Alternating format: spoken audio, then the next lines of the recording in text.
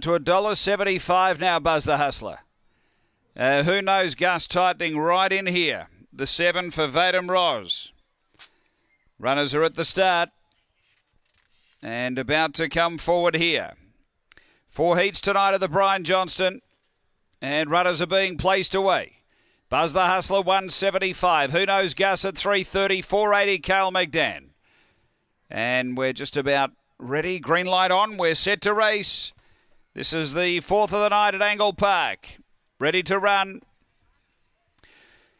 Away they go. Good speed. Mermaid Lemonade came out firing. He's going to lead them up early over Who Knows Gus and trying to drive between them. Cal McDan who copped the check and Bad Guy Boris as well. They go to the back and the leader Mermaid Lemonade away by three on Survive the Fury. Uh, then came Who Knows Gus, Buzz the Hustler and a big gap away to the other pair but off the back the leader Mermaid Lemonade out by two to Who Knows Gus and then came Buzz the Hustler turning. Mermaid Lemonade in front clear of Who Knows Gus and Buzz Buzz the Hustler, Mermaid Lemonade, all the way over Buzz the Hustler, Who Knows Gus, and Survive the Fury. Then Kale McDan and Bad Guy Boris, and Bosco takes the first two heats of the Brian Johnston.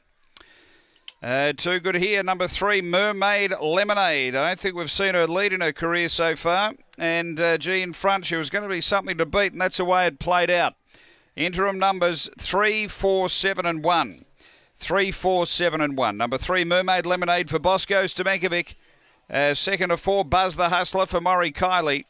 And third to seven, Who Knows Gus for Vadim